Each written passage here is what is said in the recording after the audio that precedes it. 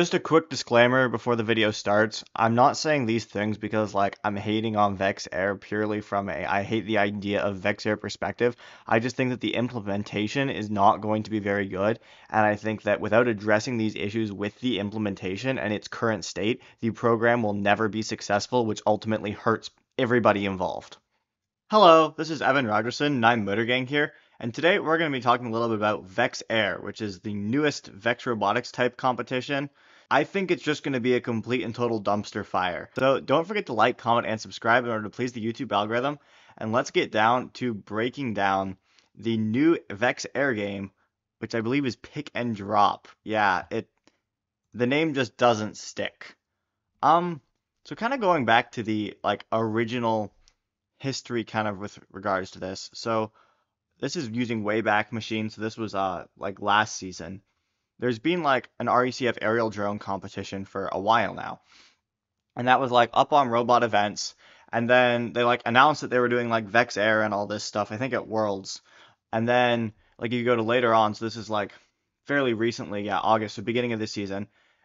Um aerial drone competition is gone and now there is Vex Air. So my first impression, and I think a lot of people also thought the same thing, is like aerial drone competition is now kind of being replaced by Vex Air.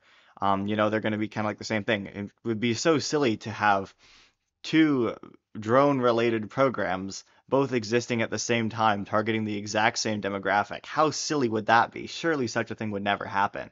But then I found out through the RECF YouTube channel that aerial drone competition does still exist.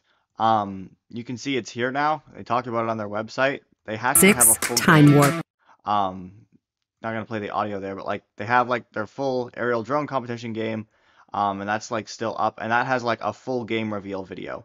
Um, so aerial drone competition, it's always been like a smaller thing, but I think it probably does decently well, and it seems to have like a decent amount of involvement there. So cool, and like yeah, they it's now not on robot events, it is now on RECF events. So that's like a whole different thing, and you can yeah, you can go and we can like look at it and we can see all these events. So like RECF drone competition is very much still like a thing that is happening completely separate from Vex Air.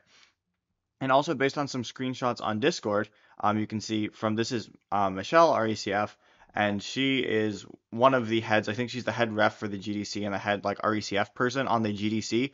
And she says RECF has no role in the Vex aerial drone competition. Um, so I have no insights. Different GDC. So this is like kind of Vex doing their own thing, not at all associated with the RECF. So that's kind of interesting, um, considering it's still like on robot events. So curious to see how that plays out. Also, you'll notice here that it is Vex aerial drone competition, not to be confused with VAIRC, which is Vex AI robotics competition um, because the one that has air in it is actually not the aerial drone competition. It's going to get really confusing.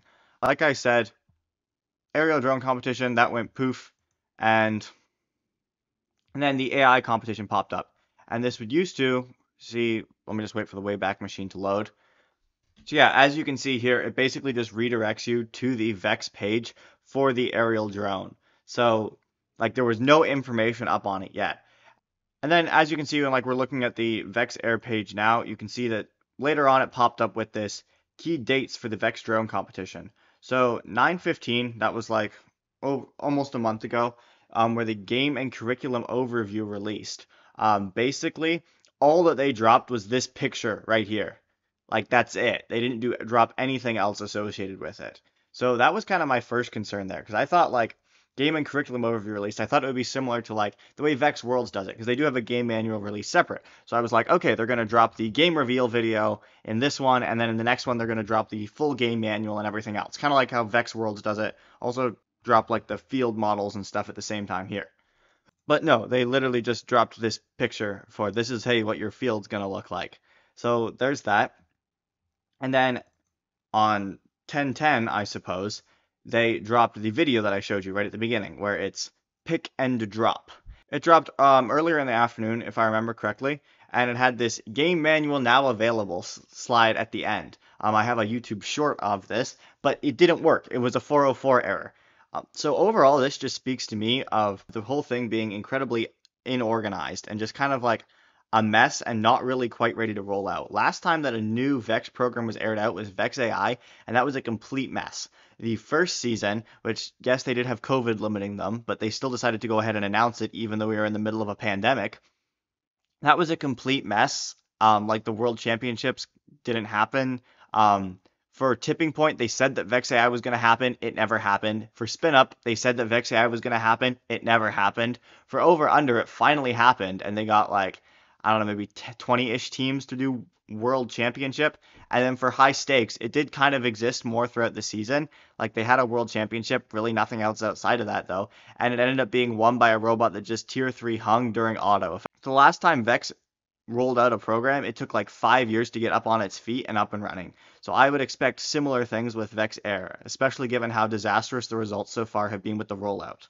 Another thing that I'll go ahead and point out is if you look at the Vex drones, they are temporarily out of stock. So I cannot take this as a good sign that your required item to have for the competition is out of stock. That just doesn't seem like a great thing right now. And like last time they had a big rollout like this was the introduction of the V5 system, which that was oh I want to say like 2019. Um, I was around for that. It was a mess. That's where the whole ships in eight weeks things come came from because they kept telling everybody, oh yeah, the V5 kits are gonna ship in eight weeks, guys. And like we ordered ours in August and didn't get it until like the spring. So it was just a complete mess with the rollout there as well. And I wouldn't be shocked if something similar happens here as well. Additionally, I also kind of point out the price tag. $700 for a drone is kind of expensive. Like I know I was talking about the aerial drone competition earlier, and their stuff seemed to be much more reasonably priced. So I think it would be a very hard sell budget wise for a team to decide to go with the air competition over the RECF aerial drone competition purely from a budgeting perspective. Additionally, they haven't released the cost of the drone competition fields and they are not available for ordering. If it's similar ballpark to a V5 field, which that that's is both a 12 by 12, so I imagine it'll be I don't know similar. You'd be looking at over a thousand dollars in order to order this field, and they're supposed to start shipping in two days from now, and we still don't have a price tag, and they haven't been up for sale yet. So again, I can only see that this is not going to be a very good rollout. I also just kind of want to mention the surprise that there's no actual like reveal video for this. There was the video that I showed you right at the beginning, the 50 second teaser thing, but no actual video showing this off. And I feel like that also does not bode well for the program. Like I know that those videos are probably quite expensive to make just because of all the rendering and the amount of time that it takes and you have to pay the people to do the effort. But I also feel like they're a massive thing to get people into Vex. Like I Uh, new member things, I always make sure to like show off the game reveal video to get people excited and hyped. But you don't have anything like that for Vex Air. So I feel like that's probably just gonna hurt the product. Like people are le- going to be less likely to buy it. And it just also shows that they're not really putting a lot of effort into this in my opinion. Maybe that'll drop later. But again if you're dropping this after we thought you were already going to be dropping it like that just shows that you're behind schedule and not doing a good job of managing this product one other thing that i kind of want to point out before we get into the game manual which is probably the worst part is you'll notice this is what it was showing like all for the summer and up until I think like a couple of days ago when they actually dropped the game manual, is you'll notice Vex Air Dr- Drone Competition said grades 9 through college. Um, so collegiate, university, it implied that like just like VexU and Vex AI, these programs would be available to college students. And I know that there are lots of college teams that are planning to get like an aerial drone thing started up. But now if you go to the current website, it just says grades 9 through 12. This is robot events as it currently stands. And college seems to just be completely gone from Vex Air. I know some people who specifically spoke to their Vex representative, like previously, before this got changed on the website, and were told specifically that yes, Vex Air will be offered to university students as a university competition. So they were like, cool. I really hope that nobody actually ended up buying any of the Vex Air stuff because it looks like it's now not going to be available for college students. They just changed that on them and maybe some intern at Vex just messed up and accidentally changed it, but it seems weird that they would intentionally go from saying it's for college to not. Yeah, that's where this screenshot comes from of how come no college Vex aerial drone competition.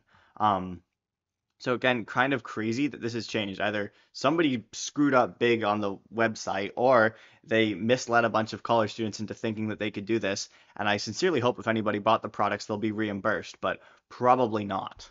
Now, you might be a reasonable person and think, well, surely it explains it in the game manual, because like the VexU game manual and the VRC game manual, they all have descriptions of who's allowed to compete. So let's go ahead and take a look at the game manual, or the lack thereof.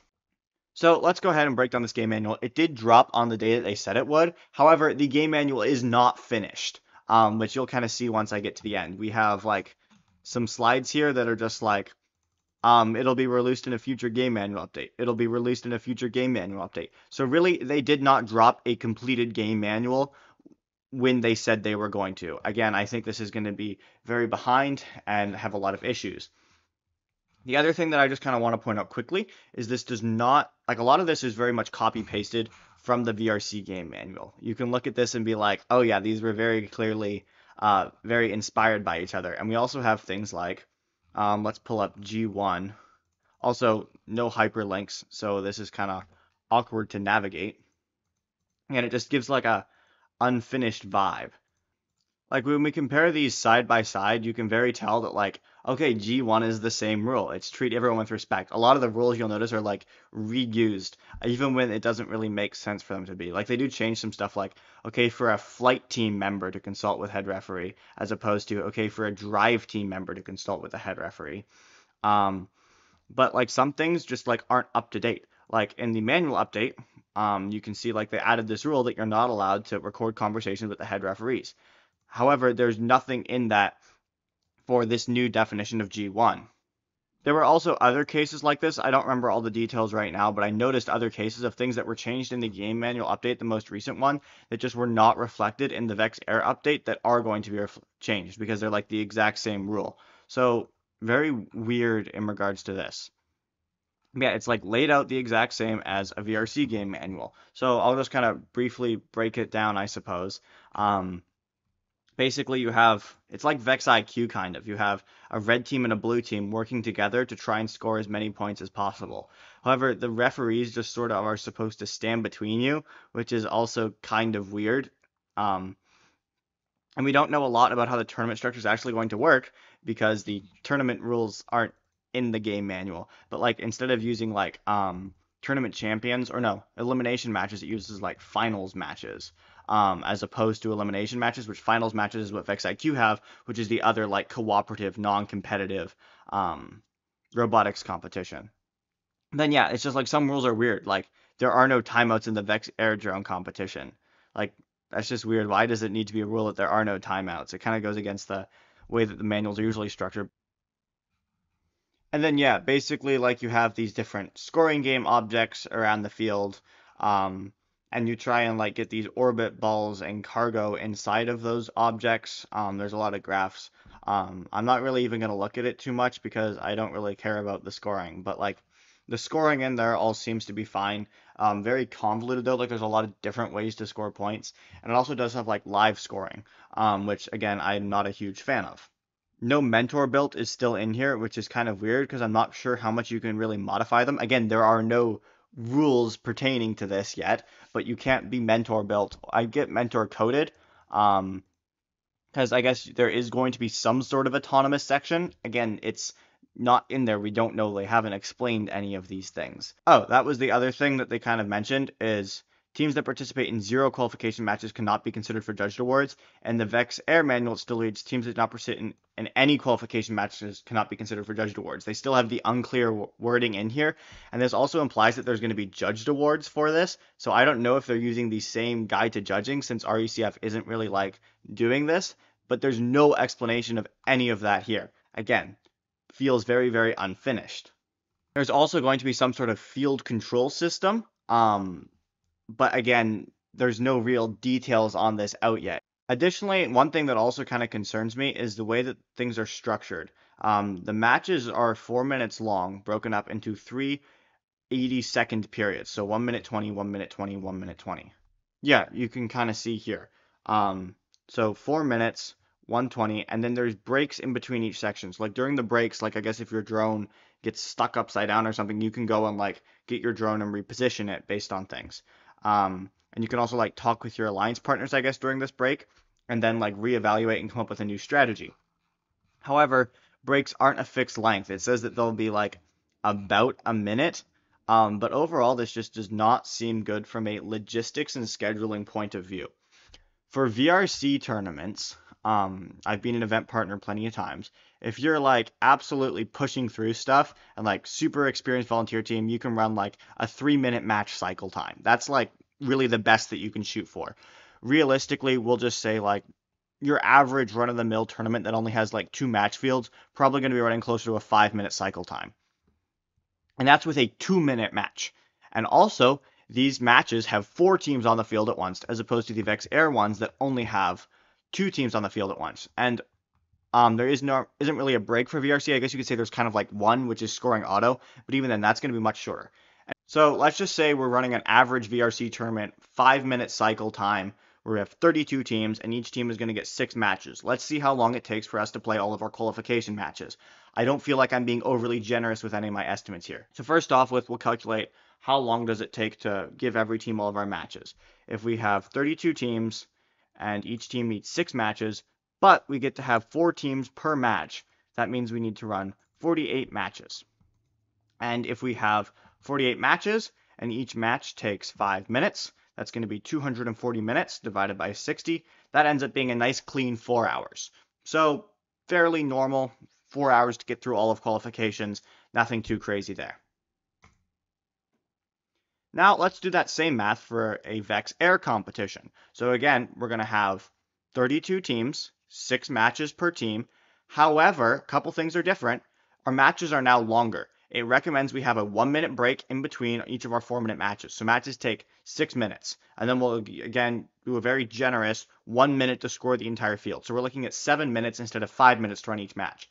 Additionally, we only have two teams in each match instead of four teams. So when we do this math, we have 32 times 6. That's total number of matches, but we get to have two teams per match, so that drops down to 96. And then we have to keep in mind that it's going to take us seven minutes to run each match. And then that's the number of minutes. We divide that by hours. It is now going to take us almost three times as long in order to get through all of our qualification matches. Like a regular sized VRC tournament will take 11 hours to run just qualification matches for Vex Air. So, just from a logistical perspective, I have no clue how this is going to work. You're either going to need significantly more fields to reduce the match cycle time, or you are just going to have to host tournaments that have significantly less teams. Like I used 32 for this number. I feel like that's a fairly normal average Vex tournament size. Or the final option is you just don't give every team six qualification matches, which sucks. You're getting less bang for your buck when you go to a tournament. And then yeah, finally I just want to want to close out. Like there are inspection rules and some examples of what is legal from the Vex Air kit, but there's no real updates on a lot of these details here, and like some of it just feels weird. Like robots may only use one official Vex Air drone battery at a time. Decorations are allowed, but like there's just no explanation for all of these, and there's just not a lot of depth here, and none of the other resources are out. So that kind of explains why I feel like this is just going to be a complete mess of a competition. And if I were you, I would recommend staying away from Vex Air for a while. At least sit back the first season, see how it goes. Maybe I'll be wrong. Maybe it'll be a really big success, but I just don't see how this is going to roll out based on how it's rolled out so far and based on some past experiences and just like the math behind it. So I would highly encourage you don't try out the rookie season because this did not end well for the Vex AI teams that tried it out previously at least wait and see how the first season goes before you go ahead and get involved. So that kind of wraps up my thoughts on Vexair. I would like you guys to take down to the comments below and let me know your thoughts on this program. Do you think it's going to be a really big success? And if so, why? Also, don't forget to like and subscribe in order to please the YouTube algorithm, and I will see you in the next one.